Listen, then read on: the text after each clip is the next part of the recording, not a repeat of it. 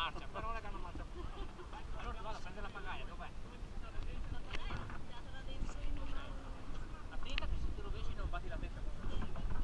È meglio tenere la mano, sì.